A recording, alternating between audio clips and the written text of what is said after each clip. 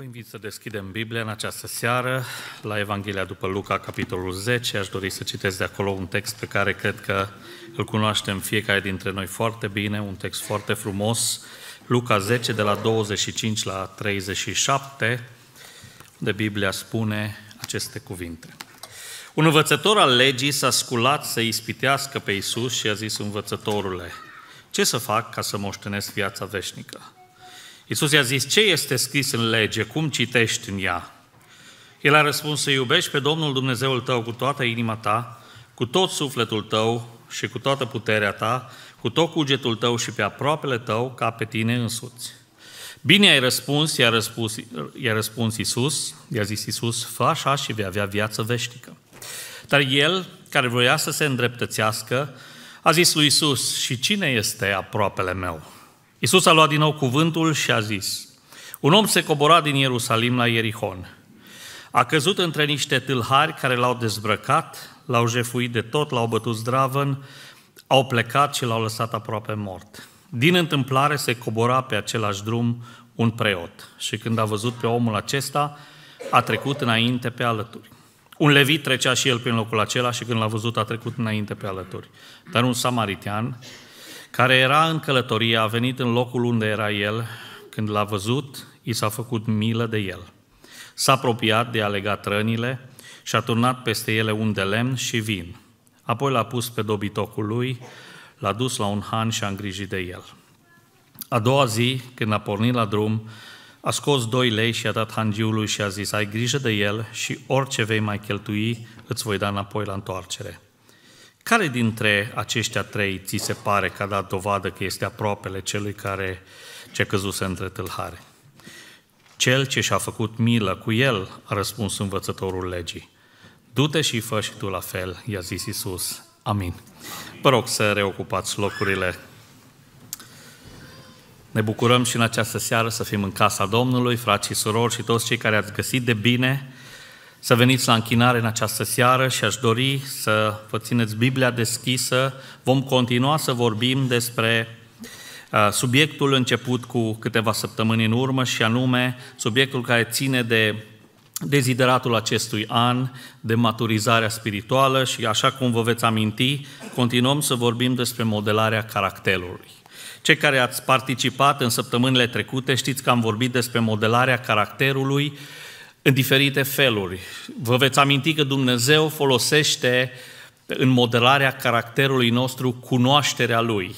Am vorbit despre ce înseamnă să-L cunoști pe Dumnezeu sau să cunoști despre Dumnezeu. Vă veți aminti că am vorbit despre modelarea caracterului prin consacrare față de Dumnezeu. Vă veți aminti că am vorbit despre modelarea caracterului prin conflictele vieții. Am învățat modul în care Dumnezeu, în suveranitatea și în providența Lui, folosește conflictele care au loc în viețile noastre pentru a da contur caracterului nostru, pentru ca într-o zi noi să semănăm mai mult cu Hristos. Am vorbit despre modelarea caracterului atunci când noi ne consacrăm lui Dumnezeu, iar în această seară aș dori să continui vorbind din acest uh, pasaj atât de frumos și totuși atât de profund despre modul în care Dumnezeu ne modelează caracterul prin compasiune față de oamenii din jurul nostru. În seara aceasta aș vrea să examinăm împreună acest text, care este un, uh, un text foarte bogat, dar care vorbește în esență despre nevoia noastră de a avea milă, de a ne arăta compasiune față de cei din jurul nostru. Trăim într-o societate care de multe ori își arată cruzimea, Trăim într-o societate în care oamenii de multe ori își fac rău unul altuia fără motiv. Parcă stai deseori și te întrebi de ce în schimbul răului n-ai putea să faci un bine cuiva. De ce atunci când ai putea să arăți milă, compasiune, înțelegere față de cineva, prefer totuși în trendul societății uh, să fii poate răutăcios, să fii poate uh, un om închis în tine însuți. Aș dori să folosim modelul samaritianului din această pilda Domnului Isus Hristos, pentru că El, acest om, vorbește despre compasiune. Și apoi aș vrea să învățăm cum Dumnezeu folosește compasiunea, adică mila, ca să ne modeleze caracterul. Eu cred din toată inima că Dumnezeu îngăduie în viața noastră momente în care să putem să arătăm față de cei din jurul nostru compasiune, să ne purtăm cu bunătate, cu milă, pentru că în felul acesta caracterul nostru este modelat, este șlefuit, pentru ca într-o zi să semănăm cu Hristos. Amintiți-vă că Domnul Iisus Hristos a venit într-o lume ostilă. Hristos a venit într-o lume care uh, nu a vrut să aibă nimic de a face cu el. Ostilitatea celor de pe vremea Domnului Isus a fost așa de mare încât Domnul Isus în multe rânduri, în foarte multe rânduri și poate ca oameni ne-am gândit de prea multe ori Domnul Isus Hristos și-a arătat compasiune față de cei care îl tratau cu răutate. Putem noi oare să învățăm ceva în seara aceasta de la acest samaritian care s-a îngrijit de un om căzut, bătut, pe jumătate mort și modul în care atunci când ai milă de cineva care trece prin suferință, când pur și simplu arăți mila și dragostea lui Dumnezeu, cum acestea la rândul, uh, la rândul lor ne modelează caracterul. Dacă ați fost atenți la citirea textului, veți vedea că discuția inițială are loc între un învățător al legii și Domnul Isus. Zice Biblia că un învățător al legii s-a sculat uh, să-L ispitească pe Domnul Isus. Trebuie să înțelegeți că la vremea aceea învățătorii legii uh, erau de fapt avocații vremii. Învățătorii legii aveau avantajul intelectual asupra oamenilor din generația lor pentru că înțelegeau atât legea biblică cât și legea civilă uh, și înțelegeau foarte bine unde se intersectează legea biblică sau legea lui Dumnezeu cu legea oamenilor. Deci, în esență, discuția are loc între Domnul Isus Hristos și un avocat, un apărător al legii, pentru că asta este învățătorul legii. El este avocatul vremii respective. Și acest avocat al legii încearcă să vină la Domnul Isus și să se îndreptățească, uh, să se eschiveze într-un fel de datoria lui spirituală față de oameni uh, și are o discuție interesantă prin care Domnul Isus îi, îi spune câteva lucruri pe care aș vrea să le analizăm. Uh, în esență, acest avocat, acest apărător al legii, atât divine cât și omenești, îl întreabă pe Domnul Isus, învățătorile, ce să fac ca să moștenesc viața veșnică? Toți vrem să moștenim viața veșnică. Toți dorim, Dumnezeu a pus în noi dorința aceasta pentru veșnicie. Într-un fel sau altul, poate uneori verbalizat mai simplu sau poate chiar fără cuvinte, există undeva în adâncul ființei noastre, sădit undeva întrețesut în ADN-ul ființei noastre dorința asta de a moșteni viața veșnică. Și învățătorul vine la Domnul Isus și spune, vreau să-mi spui cum pot să ajung uh, să moștenesc viața veșnică.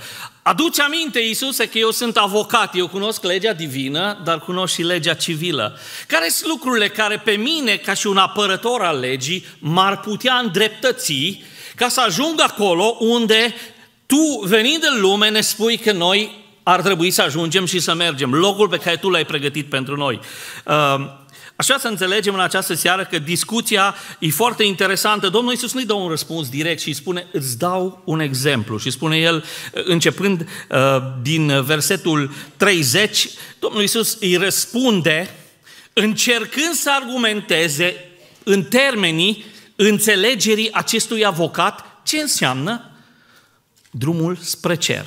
Observați că Domnul Iisus nu îi dă o rețetă, nu îi dă Domnul Iisus ceva cu trei puncte sau cu cinci puncte pe care el să le poată bifa sau nu, ci pur și simplu îi dă o pildă. Și pilda începe la versetul 30 uh, și se termină la versetul 35 uh, este această pildă în care, în esență, Domnul Iisus spune că în drumul care se cobora, spune Biblia, de la Ierusalim la Ierihon, adică drumul care vine de la succes, de la bogăție, la sărăcie, la eșec, vine un om. Și pe acest drum uh, călătorește un om este de fapt călătoria omului. Nu-i dă niciun nume acestui călător. Pentru că eu cred că acest călător reprezintă pentru noi în seara aceasta și a reprezentat atunci omenirea întreagă. Omul care, trăind în păcat, este dezbrăcat de identitatea lui originală, este rănit și este jumătate mort, lăsat pe marginea drumului. Vreau să înțelegeți că acest om căzut în șanțul lumii ne poate reprezenta pe fiecare dintre noi și ne reprezintă pe fiecare dintre noi. Pentru că atunci când ai căzut din starea pe care Dumnezeu ți-a dat-o inițial, de fapt Dumnezeu a creat omul ca să aibă o părtășie neîntreruptă cu el, dar păcatul a creat dezastru în viața omului și Hristos de fapt îi spune acestui învățător al legii, acestui avocat al legii, acestui om care cunoștea legea divină și legea uh, civică, îi spune în esență, omenirea este plagiată de păcat. Omul care zace în acest șans nu este decât un om care ne reprezintă pe fiecare dintre noi, dezbrăcat de identitate divină, bătut, golit de tot ce este bun și pe jumătate mor. Pentru că, dragii mei, dați-mi voi să vă spun, indiferent cât de buni suntem din punct de vedere a realizării lumești, indiferent cât de sus am ajuns pe treptele societății, dacă nu-L cunoaștem pe Dumnezeu, am fost dezbrăcați de identitatea noastră, dacă trăim în păcat, am fost răniți de moarte și în cel mai bun caz, în cel mai bun caz, zic, suntem pe jumătate morți, lăsați undeva și avem nevoie de cineva care să vină la noi. Asta îi spune în esență Domnului, Domnul Iisus acestui avocat al legii. Pentru că vreau să înțelegem foarte clar, Hristos a venit în lume ca să, sim, ca să schimbe un sistem de gândire și pentru a le arăta oamenilor realitatea așa cum o vede Dumnezeu. În esență, Hristos îi spune, acestui avocat al legii care, amintiți-vă, vrea să se îndreptățească. Îi spune, starea omenirii este descrisă în acest om, bătut, jefuit, uh, pe jumătate mort, lăsat uh, să moară. Și Hristos îi aduce în imagine pe Uh, prietenii acestui învățător al legii. Uh, zice Biblia că trece un preot pe acolo.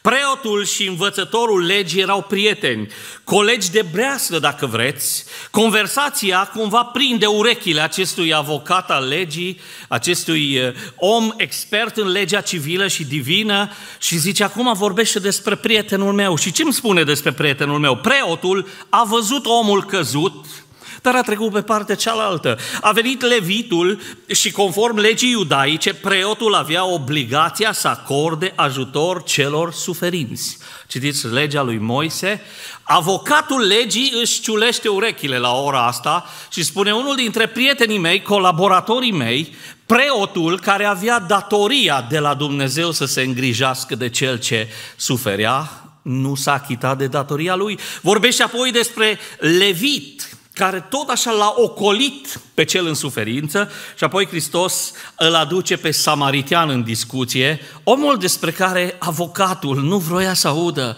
Era omul renegat de societate, omul care trăia între două lumi, nu era nici evreu, nu era nici dintre neamuri, evreii îl renegau, cei dintre neamul nu-l acceptau și spune de fapt Domnul Iisus acestui avocat al legii, care nu uitați, trebuia să vegheze la împlinirea legii divine și a legii civile, îi spune, omul de la care societatea nu așteaptă nimic, acest samaritan ne învață o lecție. Și acum cele câteva lucruri pe care vreau să le luăm punctual, să vedem modul în care Dumnezeu folosește compasiunea ca să ne modeleze caracterul. În primul rând, cum ne modelează compasiunea atunci când dăm dovadă de ea caracterul? În primul rând, compasiunea, dragi frați, stimate surori, tineri dragi, ne amintește de suferința și de locul din care ne-a scos Hristos.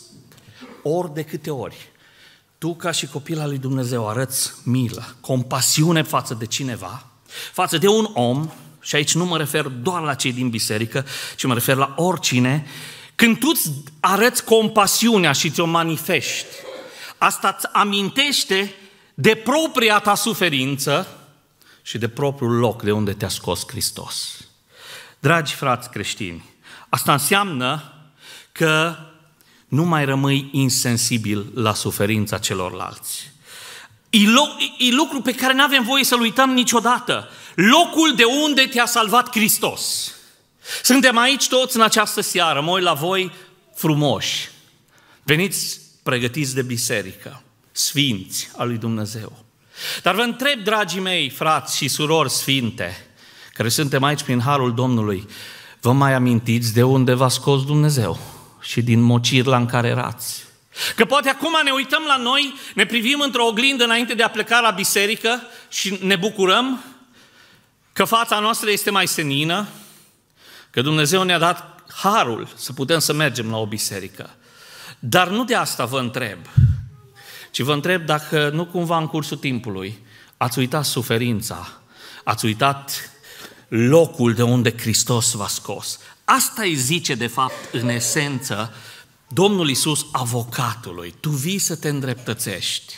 Ești apărătorul legii civile, apărătorul legii divine. Știi, dar noi ca și creștini, dragi frați, stimate surori, nu avem voie.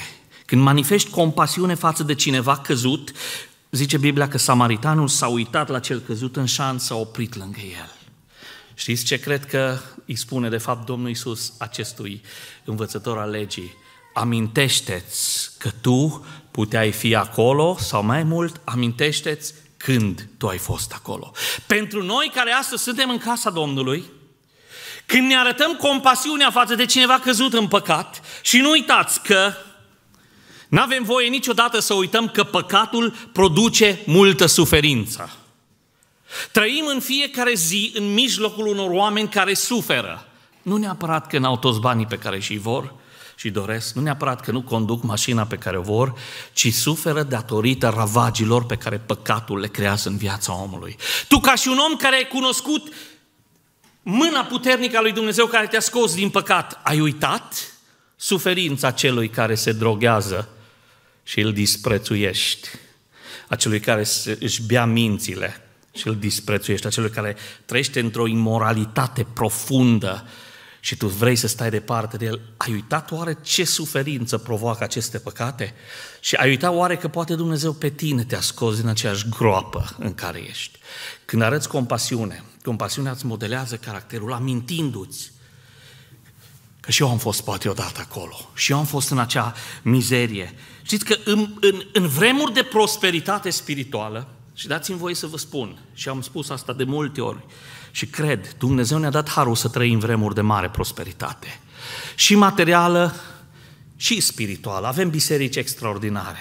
Avem slujitori pregătiți, titrați, avem oameni cu inimă pentru Dumnezeu, avem condiții grozave. Cel mai mare rău de care are biserica eh, lui Hristos parte în aceste vremuri nu este statutul ei în societate, că suntem priviți cumva. Nu este nici faptul că oamenii sunt împotriva pocăiților și a credincioșilor. Nu este faptul că poate nu avem clădirea sau parcarea pe care ne-o visăm. Nu este uh, neapărat faptul că poate în biserica noastră se cântă muzica pe care o dorim sau pe care nu o dorim. Uh, cel mai mare rău pe care sau de care poate avea parte biserica vremurilor noastre este că e plină de oameni care au uitat de unde i-a scos Dumnezeu. Și aș vrea să reflectați un pic.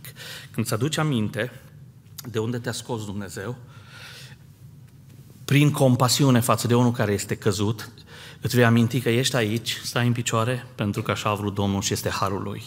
Dragii mei, nu avem voie. Preotul îi spune, de fapt, Domnul Iisus acestui învățător al legii, preotul a știut ce sarcină are. Preotul a știut, dar n-a avut timp de cel căzut. Sarcina lui divină era nu alta decât să se aplece la cel în suferință. De fapt, societatea aștepta ca preotul să se aplece. Știți cât de mulți oameni care suferă în păcat așteaptă ca cei care sunt desemnați de legea divină să se aplece la cei care suferă, dar poate că n-au timp de ei, poate că trec pe lângă ei. Preotul a știut ce sarcină are, dar numai samariteanul s-a achitat de ea. Aș vrea să înțelegem în această seară că există pericolul. Există pericolul ca să slujești doar pentru a-ți face capital de imagine, doar pentru a te promova, pentru că, de fapt, preotul trebuia să se oprească, nu samariteanul. Îi spune, de fapt, Domnul Iisus, învățătorului legii, preotul trebuia să te oprească. Era datoria lui. Ce trebuia să facă preotul? Desemnat de Dumnezeu, trebuia să se îngrijească de cel rănit. Dragi frați și stimate surori, caracterul nostru va fi modelat ca să semănăm cu al lui Hristos. Când nu vom uita arătând compasiunea de unde ne-a scos Dumnezeu, suferința și locul de unde ne-a scos Dumnezeu e primul lucru. Al doilea lucru, e foarte interesant, Hristos continuă să-i spună, a venit levitul.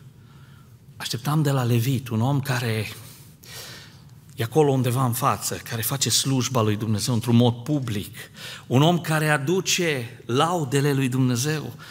Zice Domnul Iisus, într-un fel sau altul, așteptam ca El să întindă mâna spre Cel care era în șanț. Amintiți-vă, Cel ce stătea în șanț nu stătea acolo că n-avea ce face.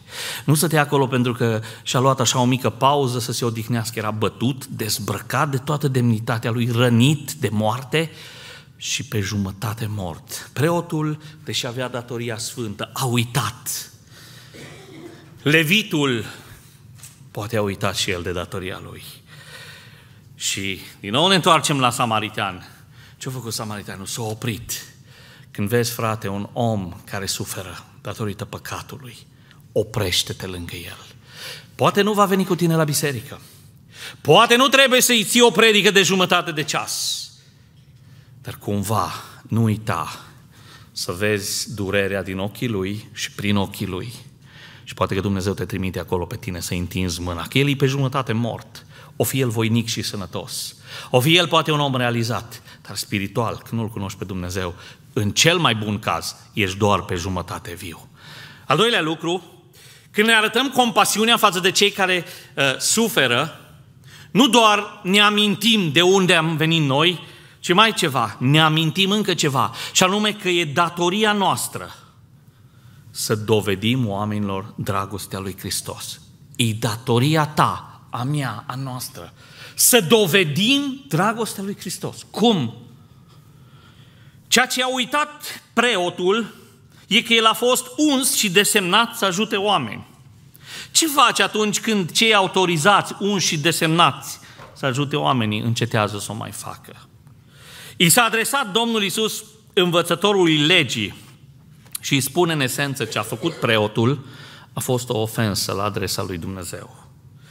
Dar tu, ca și învățător al legii, ce spui despre acest lucru? Ce vei face cu faptul că preotul uh, nu s-a achitat de datoria sfântă pe care o avea înaintea uh, Domnului? Dragi frați creștini, când arătăm compasiune față de cei care sunt căzuți, cei care suferă în păcat, uh, ne vom aminti în mod constant că e datoria noastră să dovedești dragostea lui Hristos. Cum o, o dovedești? De vorbit e foarte ușor să vorbim. De spus cuvinte, poate că ne este ușor. Sau poate că ar trebui să retractezi ce am zis. Nici asta, și asta ne e greu să facem. Colegii tăi de muncă, colegii tăi de la școală, de la facultate, Măcar de am vorbit despre Dumnezeu. Vorbim de toate. Începem cu vremea, continuăm cu campionatul, continuăm cu politica, de toate vorbim. Trist e că uneori ajungem la argumente pentru lucruri care nu o să ducă niciodată niciunde. Măcar îți mai aduce aminte că e datoria ta să arăți cuiva cum iubește Hristos. Asta îi zice Domnul Isus, învățătorului legii. Cum iubește Hristos? zice Biblia, Samariteanul, avea și el agenda lui, n-am nicio îndoială. Că nu se plimba el așa pe drumul de la Ierihon la Ierusalim și de la Ierusalim la Ierihon. Avea agenda lui. Dar ce zice Domnul Isus? S-a oprit, s-a dat jos de pe animalul lui și s-a dus la omul care era căzut acolo. Aș vrea să înțelegem că biserica trebuie să fie o voce în societate. E o societate care suferă, dragii mei. Putem să o criticăm, putem să o anatemizăm, putem să spunem multe despre societate. Dar v-ați gândit vreodată că poate societatea așteaptă ceva de la biserică? Eu cred că am ajuns vremea în care biserica trebuie să aibă din nou o voce în societate. Nu neapărat să purtăm pancarde, ci vocea cea mai puternică este vocea iubirii lui Hristos. E dragostea lui Hristos. E vremea, dragi creștini, ca biserica să fie cunoscută în societate pentru valori, nu pentru restricții. Ca ani de zile ni s-a tot spus, o, voi sunteți pocăiți, voi n-aveți voie asta, asta, asta și asta. E adevărat. Dar biserica, dragii mei, este construită pe valori, nu pe restricții. Și una din cele mai mari valori, fundamentale, esențiale, pe care este zidită Biserica lui Hristos, este dragostea. Prin aceasta vor cunoaște toți că sunteți ucenicii mei, a zis Domnul Isus. Cum? Că vorbiți în alte limbi. Foarte bine că vorbiți. Că prorociți. Foarte bine că prorociți. Nu, zice Hristos, dacă veți avea dragoste unii pentru alții. Când te apleci o compasiune spre cineva care suferă datorită păcatului, caracterul tău este modelat cum? Prin faptul că ești în mod constant pus față în față cu datoria ta sfântă de a arăta oamenilor că Dumnezeu iubește. Cum? Fă ceva practic.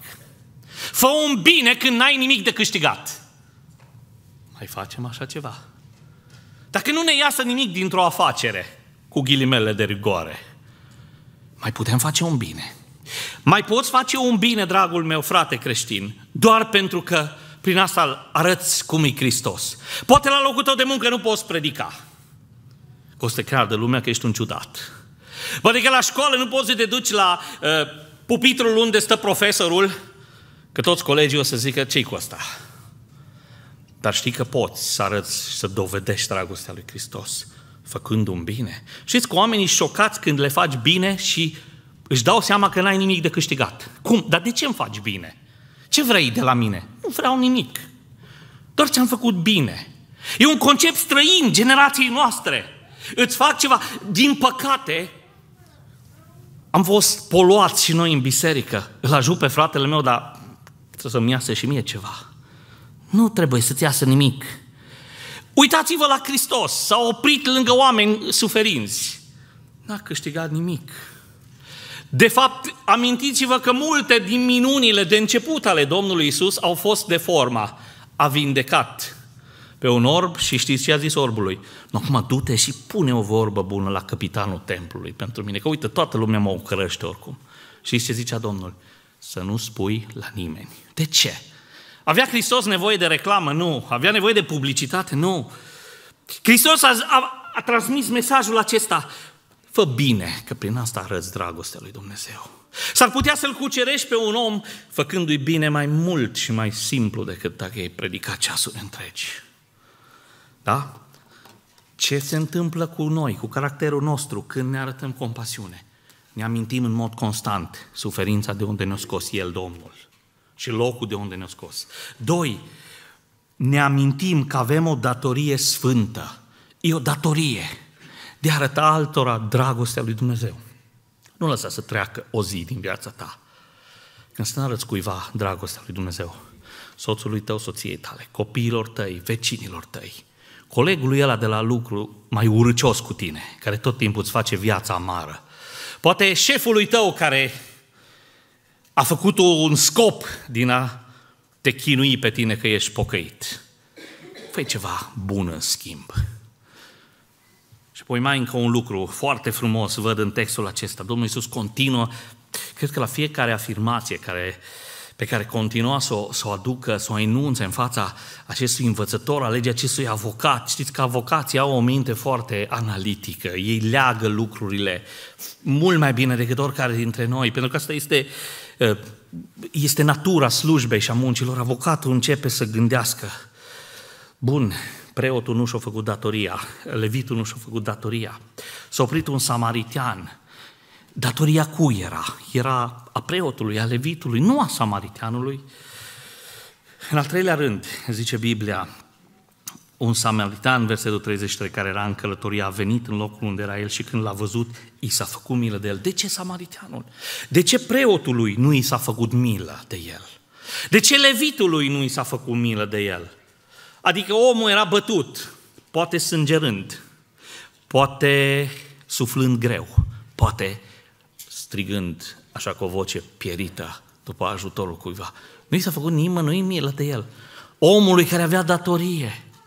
S-a oprit un samaritian pe care nimeni nu vrea să-l audă, nu vrea să-l vadă și nu vrea să aibă nimic de a face cu el. Zice Biblia, s-a oprit samaritianul.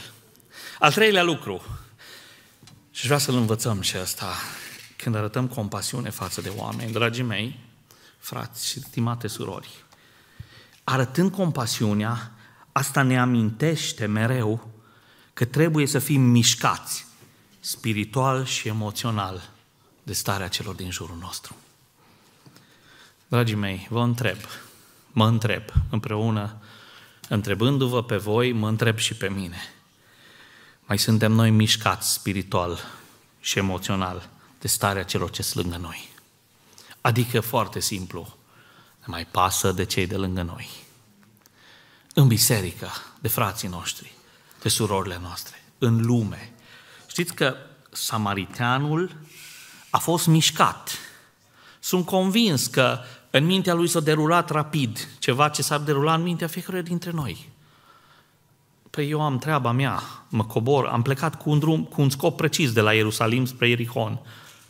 Am lucrul meu de făcut. Dar s-a oprit și a fost mișcat.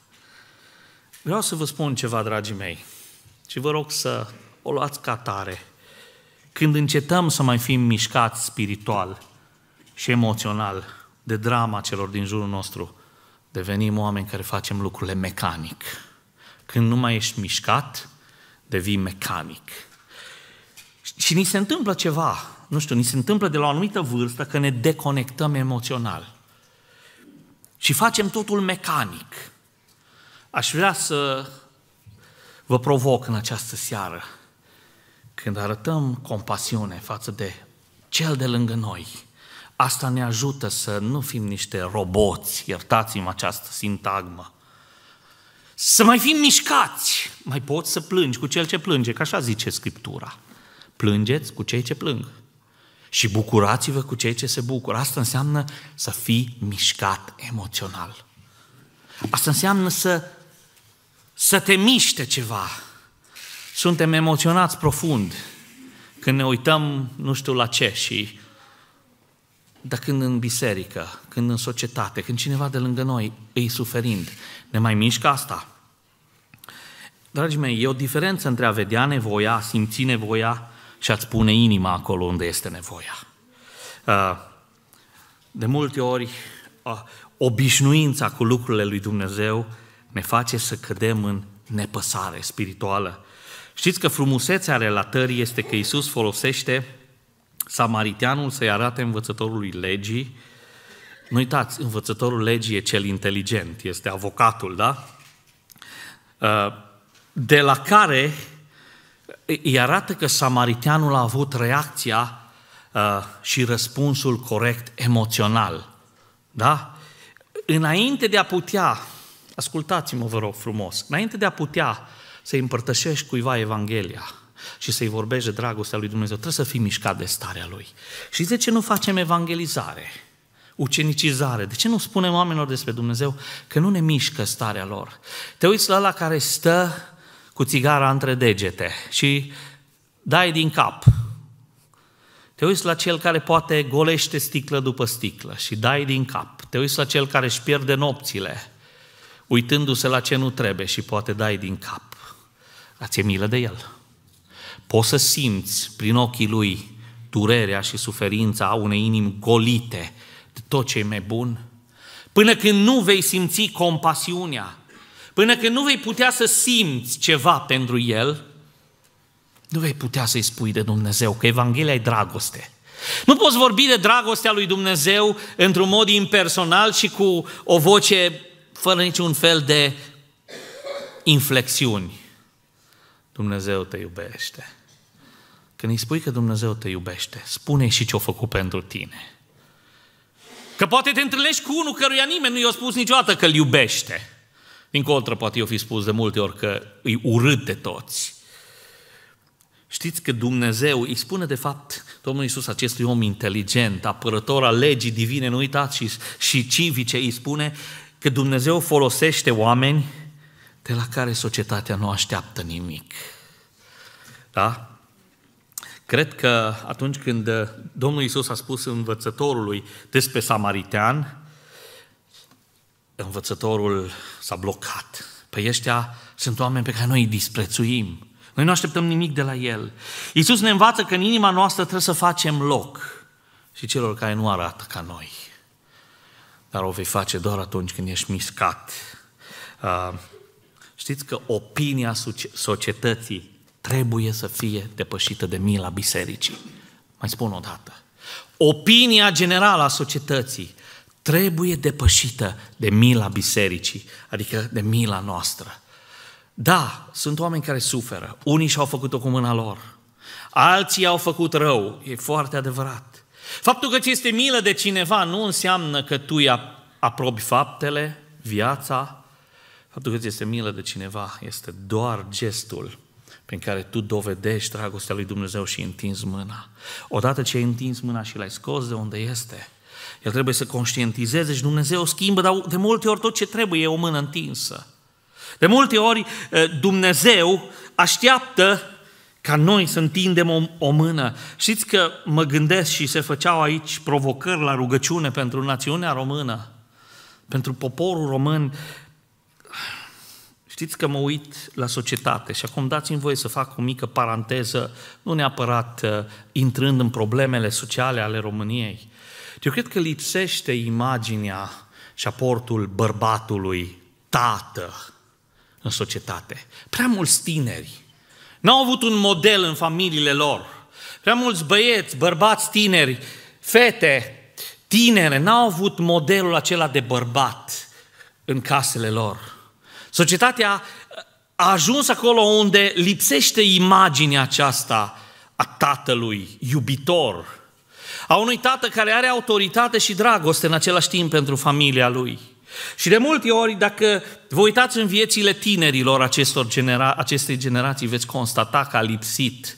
Tatăl fie a fost complet absent, fie complet neimplicat în viața familiei.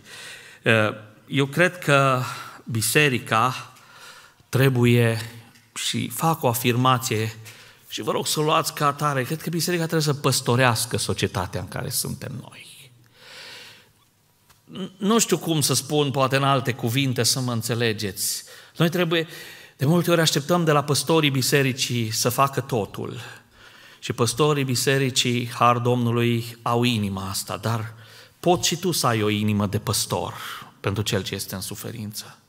Cred că e vremea ca România să aibă o biserică căreia să-i pese de suferință, care să-și întindă mâna. Nu trebuie să ne amestecăm în politica seculară.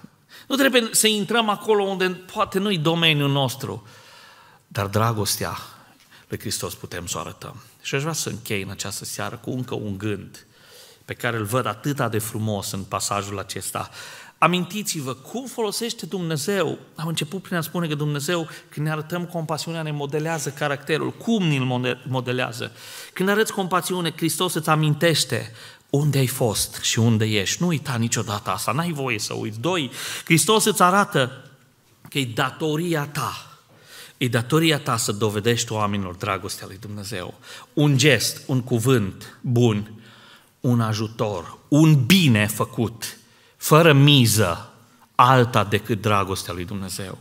Când îți arăți compasiunea, îți amintește Domnul Isus că trebuie să rămâi uman, Cred că ăsta e cuvântul pe care îl căutam, să rămâi, să simți, să nu devii mecanic, robot. Da, mergem la biserică, da, facem asta, mergem, evangelizăm. Încearcă să faci ce a făcut samariteanul. S-a oprit și a fost milă. A simțit, a fost mișcat. Prima dată este reacția emoțională și după aceea cea spirituală, da? De multe ori încercăm să fim foarte spirituali cu oameni care, oameni care sunt căzuți în păcat și nu ne percep sub nicio formă. Știți că de, de, de multe ori ne ducem la cei care stau pe străzi și, și sunt înfometați și le predicăm Evanghelia foarte bine.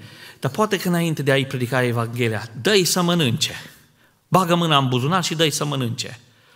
Și după ce o mâncat omul, că poate nu știi când o mâncat ultima oară, după aceea începe să-i vorbești de dragostea lui Dumnezeu. Asta înseamnă să fii mișcat și apoi să faci ceva. Și închei, cum spuneam, cu încă un lucru pe care îl găsesc extraordinar aici. Spune Biblia, S-a apropiat Samariteanul, versetul 34, i-a legat rănile, a turnat peste ele un de lemn și vin. Da? A turnat peste, peste răni un de lemn și vin. Vedeți că vinul este pentru uz extern, împreună cu un de lemnul. Da? Și zice, Biblia l-a pus pe măgarul lui și l-a dus la Han. I-a lăsat bani hangiului și a zis, îngrijește de el. Știți ce văd în toată imaginea asta? Poate va zice cineva, da, omul s-a deranjat, s-a oprit și-a întrerupt călătoria unde s-a fi dus el. Când îți arăți compasiunea față de cineva, care e căzut și rănit și în nevoie de mila ta, asta îți amintește că trebuie întotdeauna să fii gata să-ți riști resursele și reputația de dragul celui căzut.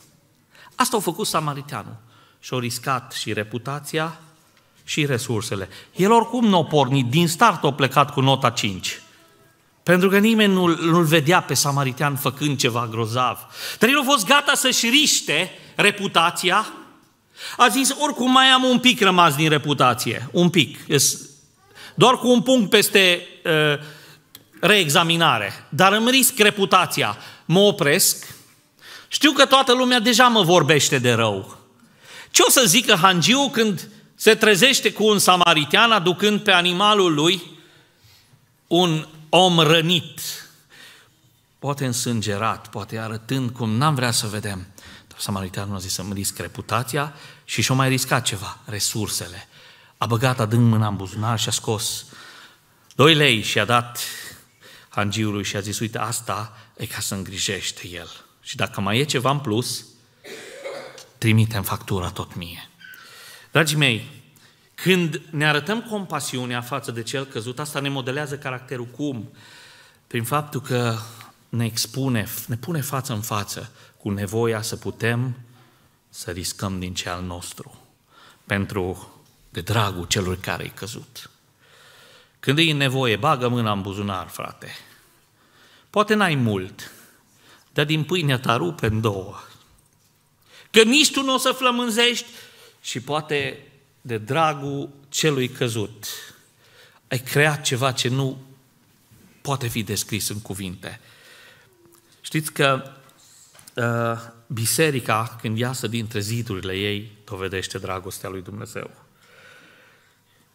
Și ca să arăți dragostea lui Dumnezeu, e o dragoste care începe când se termină dragostea noastră naturală. E o dragoste uh, specială.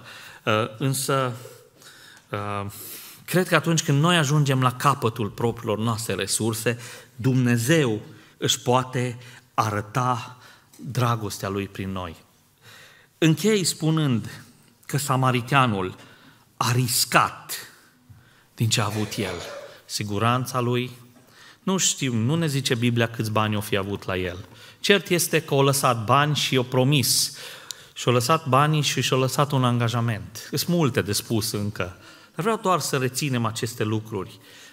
Când vrei să faci bine, compasiunea te va mâna să, să pui la risc reputația și resursele. Să nu mă înțelegeți greșit, reputația va zice ceva, ce trebuie să fac acum? Nu. Știți că societatea noastră este centrată în jurul imaginii. Oamenii se luptă acerb ca să-și păstreze imaginea. Vreau să vă spun însă ceva ce am învățat. Aveți grijă de integritatea voastră, că de imagine se ocupă Dumnezeu. Te uiți la o, o generație de oameni care pun totul pe imagine și integritatea lor arată ca șvaițărul, plin de găuri. Tu trebuie să ai grijă de integritatea ta, imaginea ta, Dumnezeu va avea grijă de ea. Samaritianul ăsta au zis, pun la bătaie tot ce am, banii mei, timpul meu, resursele mele, de dragul acestui om cred, am spus câteva lucruri, sunt multe lucruri frumoase încă în acest text. Aș vrea să înțelegem că Dumnezeu ne modelează caracterul când noi arătăm compasiune. Ne amintește, am fost și noi acolo, am suferit și noi ca ei. Ne amintește că e o datorie sfântă, că eu să arăt celor din jurul meu dragostea lui Dumnezeu. Nu doar să vorbesc despre ea. Ne spune că atunci când arătăm compasiunea, ăsta este ceva ce ne aduce din nou și din nou aminte de faptul că trebuie să rămânem umani să rămânem calzi, să fim mișcați de suferință, să plângem cu cel ce plânge și să ne bucurăm cu cel ce se bucură. Și apoi ne mai amintește că atunci când vrei, pe dragul cuiva, să te apleci, să nu-ți fie greu să iei din ce al tău, ca să aibă și el ceva. Căci doar într-o zi, când vom ajunge acolo sus, vom putea cu adevărat contoriza. Și acolo Dumnezeu va contoriza ce am făcut noi. Domnul să ne binecuvânteze pe toți. Amin.